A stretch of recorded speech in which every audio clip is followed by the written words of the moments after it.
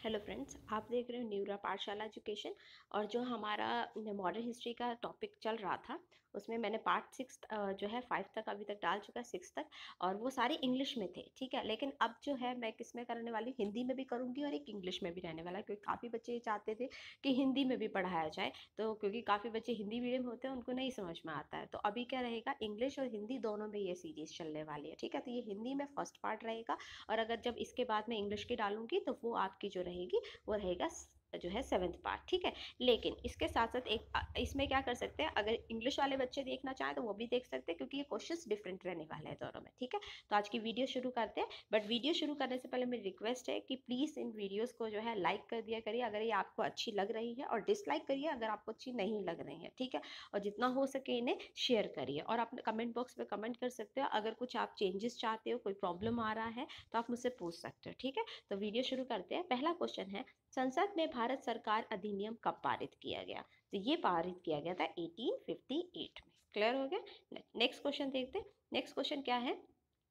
जो है, भारतीय राष्ट्रीय कांग्रेस मतलब इंडियन नेशनल कांग्रेस जो थी, वो जो है 1896 का अधिनियम निम्नलिखित में से किसके लिए विख्यात है? मतलब इंडियन नेशनल कांग्रेस के टाइम पे जो अधिनियम 1896 में पास किया गया था, वो किसके लिए फ़ेमस था? ठीक है? वो किसके लिए था? पहली बार राष्ट्रीय गीत गाया गया, ठीक है? तो अच्छा इसके लिए था। इसके साथ थोड़ी सी चीज़ जानेंगे कि एटीन में जो है, पहली बार कांग्रेस अधिनियम जो है, में भारत का राष्ट्रीय गीत वंदे मातरम गाया गया और यह बंकिम चंद्र चटर्जी के ऊपर उपन्यास आनंद पट का अंश था ठीक है?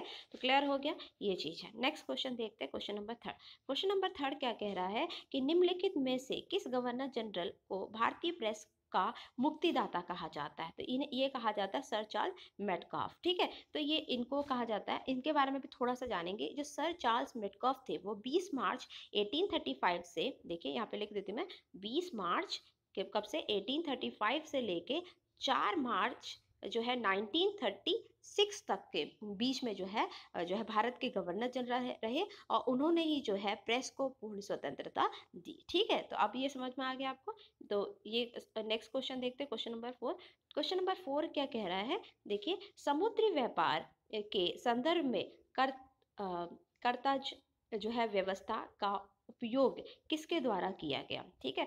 तो करताज जो व्यवस्था थी, वो जो है बेसिकली पुर्तगालियों के थ्रू जो है शुरू की गई थी। इसके बारे में थोड़ा सा जानेंगे कि जो आपके पास कर्तज व्यवस्था थी, वो क्या थी आपके लिए? इस, ये जो है, आप कह सकते हो पुर्तगालियों ने जो है एक लाइसेंस ठीक है, जारी किया था व्यापार के लिए। क्लियर हो गया? ये उससे रिलेटेड थी।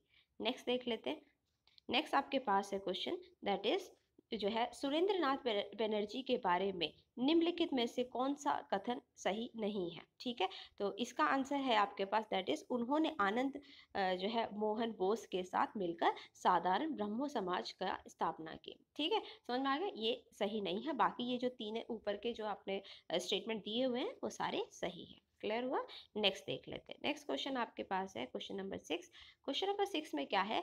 स्वतंत्रता आंदोलन के दौरान रविंद्रनाथ टैगोर ने जो है नाइटहुड की उपाधि किस घटना के विरोध में वापस कर दी थी? तो याद रखिएगा, ये थी जलियावाला बाग हत्याकांड। इसके जो है अगेंस्ट में उन्होंने क्या किया था? उनको जो उपाधि मिली थी, उन्होंने उसको बैक कर दिया था। ठीक है? क्लियर हो गया? रिटर्न कर दिया था।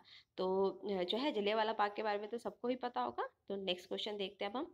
नेक्स्ट क्वेश्चन जो आपके पास है question number seven question number seven में क्या कहा गया है? मुसलमानों के लिए अलग मतदान मतदाता दल के लिए किस कांग्रेस अधिवेशन को जाना जाता है, ठीक है? तो अब इसके बारे में भी जानेंगे थोड़ा सा लेकिन इसका आंसर जो होगा वो होगा लखनऊ अधिवेशन 1916 देखिए, जो 1916 में जो लखनऊ अधिवेशन हुआ, में मुसलमानों के लिए क्या है, अलग मतदान जो है मतदान दल की व्यवस्था की गई थी, ठीक है? और इसमें जो है नरम दर, गरम दर जो कांग्रेस के थे, वो दोनों ही आए थे इसमें, ठीक है?